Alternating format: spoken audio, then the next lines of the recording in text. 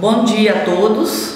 Estamos aqui nesta sexta-feira, juntamente com a secretária municipal de saúde, a Cleice, para prestar alguns esclarecimentos, algumas informações é, sobre a vacinação do Covid-19. Gostaria de esclarecer para toda a população de Cruzeiro do Oeste que estivemos na regional buscando as vacinas e trouxemos para Cruzeiro do Oeste 170 doses, né, Gleice? 170 doses. 170 doses. Esclarecendo que o pessoal que foi vacinado nessa primeira etapa já foram determinados pelo governo de estado, pela Secretaria de Estado da Saúde. Então, queremos esclarecer que nesse primeiro momento foi o pessoal que trabalha na linha de frente da Covid. Se a gente for fazer uma conta dos profissionais da saúde, mais os ambulanceiros, é, mais todo o pessoal que estão envolvido, essas doses com certeza não atendem a todos, mas foi feito um, um projeto antes, né? É, é, um cronograma. Então, nesse primeiro momento, foram os profissionais da linha de frente da Covid e também os idosos que estão nas repúblicas aqui em Cruzeiro do Oeste, esclarecendo que nós temos três repúblicas de pessoas idosas em Cruzeiro do Oeste. Inclusive uma funcionária que coordena o posto de saúde, ela foi vacinada porque também ela é uma das coordenadoras de duas repúblicas dos idosos. Então nós estamos tratando de uma forma muito séria e responsável e estou aqui dizendo que nesse primeiro momento nenhum secretário, nem a prefeita, ninguém foram vacinados, até porque existe um controle muito rígido por parte da saúde controlando essas vacinas. Então esse pessoal que foram vacinados nesse primeiro momento, eles já têm a garantia da segunda dose. Então nós estamos trabalhando. Aqui está a secretária da saúde que inclusive trabalha na linha de frente, mas ela mesma não foi vacinada, fez a opção de não ser, para deixar para aquelas pessoas que estão ligadas diretamente é, na área da saúde. Hoje, é, vendo rede, as redes sociais, me causou um espanto alguém dizendo que a prefeita foi vacinada, que os secretários, ainda cita o meu nome de uma forma muito clara, eu já estou pedindo para o jurídico tomar suas providências, porque isso é calúnia e crime. Né? Nós somos pessoas responsáveis. Eu vou me vacinar na hora que chegar a minha vez. Então aqui estão duas pessoas que estão na frente é, controlando o pessoal que foram tomar as vacinas de uma forma muito responsável. Nós entendemos que as primeiras doses foram poucas mesmo, não atende nem o pessoal que está trabalhando na, na saúde, nós temos muitas pessoas envolvidas.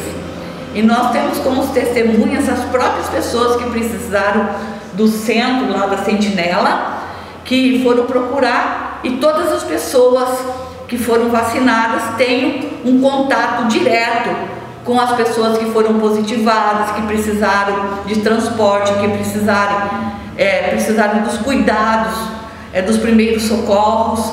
Então é desta forma que nós estamos trabalhando. Eu sei que tem muitas pessoas de idade ligando para mim que gostaria de saber como se faz para vacinar.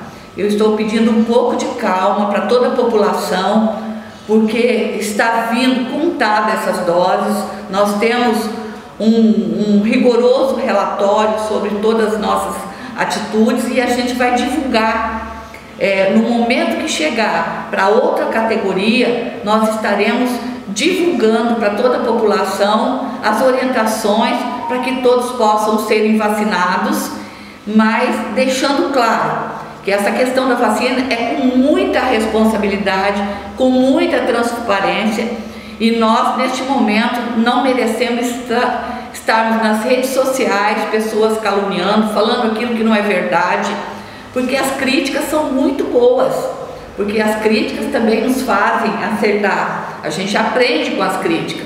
Eu nunca me importei, mas quando se trata de citar nome, de falar como se tivesse certeza, de colocar em dúvida a idoneidade da prefeita, da secretária da saúde, aí a gente parte para a parte legal, que é a parte jurídica, né? para que as pessoas que, que obtiveram e tiveram a coragem de passar essas informações, essas inverdades, que possam responder por elas.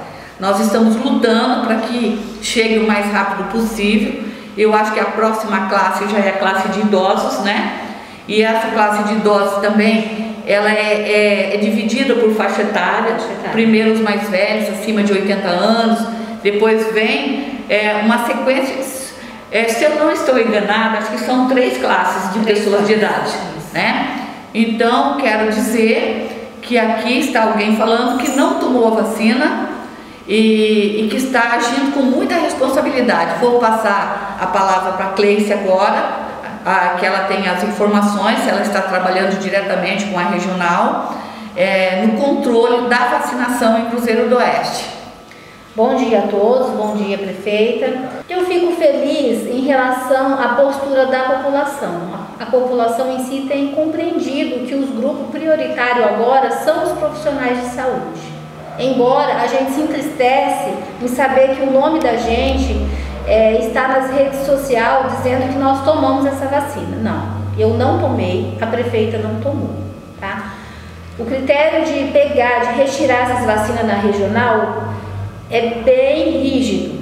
Tem aqui a nota das vacinas, tá? Isso vocês podem ter acesso aí ao portal, nós podemos pôr no portal se vocês quiserem. É uma nota é, da regional do governo, de onde nós retiramos essas 170 doses de vacina, de acordo com o número dos nossos profissionais de linha de frente. Como rege o protocolo do Ministério da Saúde. Quem que deve tomar essas vacinas primeiro? O pessoal que está na linha de frente. Então, eu estou bem consciente, bem tranquila em relação a isso.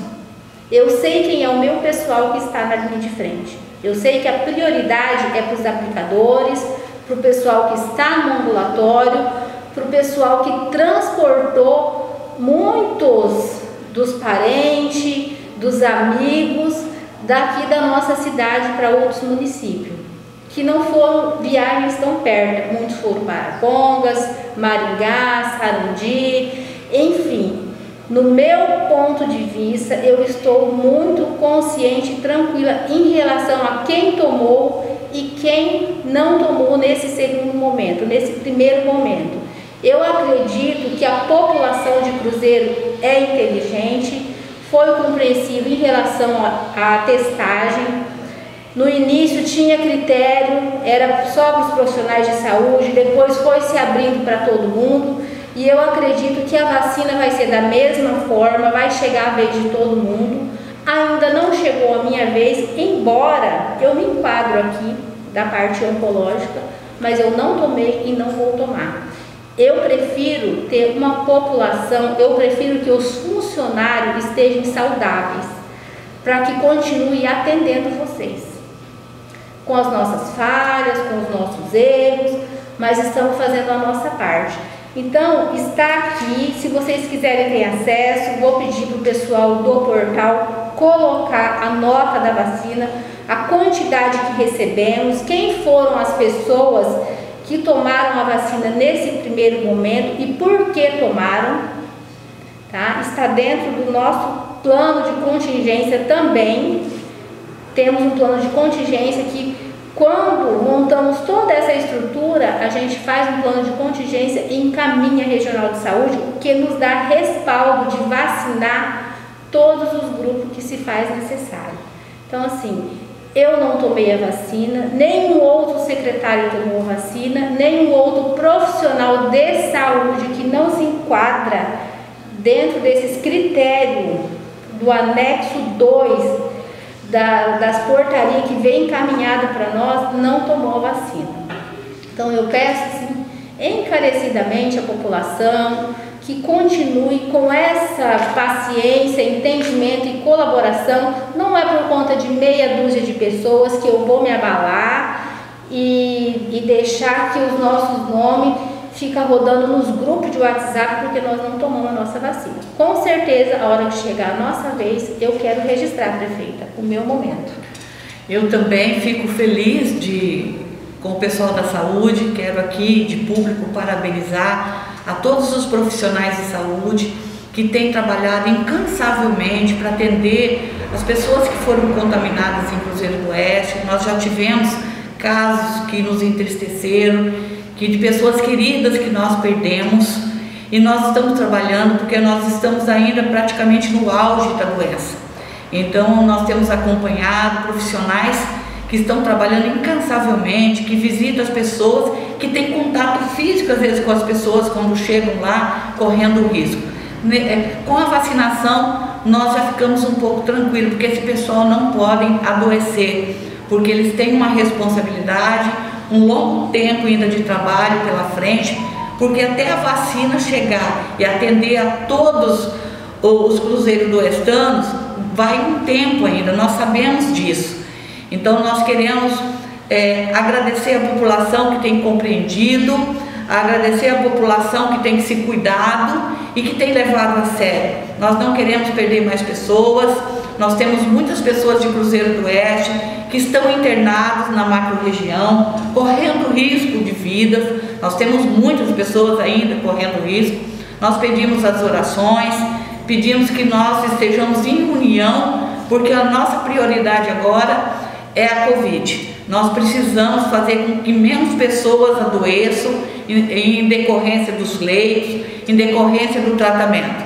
Então fica aqui o meu abraço a todos, um desejo de de um final de semana abençoado, mesmo com muita chuva, trazendo, trazendo muitos problemas, mas com a confiança de que nós estamos trabalhando no caminho certo e honrando a todas as pessoas da nossa comunidade. Muito obrigada, obrigada Cleice pelos esclarecimentos e vamos em frente, continuando é, cuidando do nosso povo.